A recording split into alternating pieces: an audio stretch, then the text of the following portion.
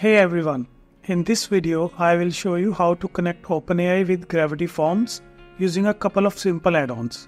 Let's dive in. First we need two add-ons, Gravity Booster and AI for Gravity Forms. Gravity Booster is a free add-on and comes with a form styler.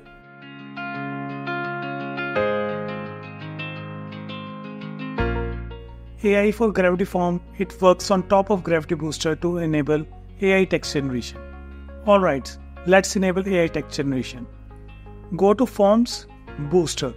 This will take us to the Gravity Booster interface. Click on the setting icons at the bottom left corner and go to AI section. Here, add your OpenAI API key.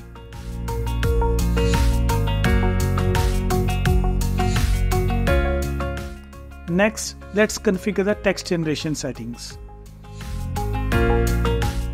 Head over to the AI panel and then click on the text generation section.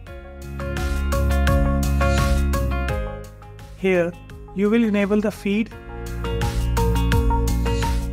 give it a name, select the AI model,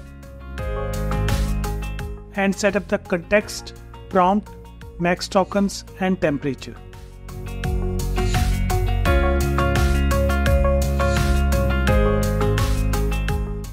Now let's make those AI responses personalized using the merge tags.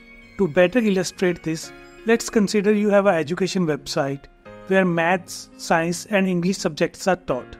Students use a form to submit their queries. The form has following fields.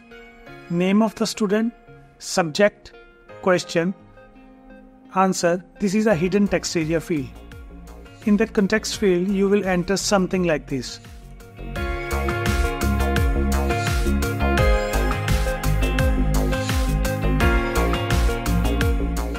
Your prompt might look like this.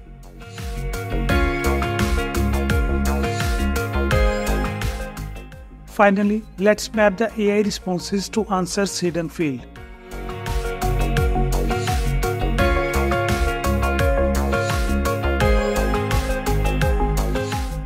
So when the form is submitted, then the AI text generation result is automatically stored in the hidden text area field. We can include this result in confirmation message as well as email notification. And that's it. With these steps, you have integrated OpenAI with Gravity Forms for text generation. Thanks for watching and happy form building.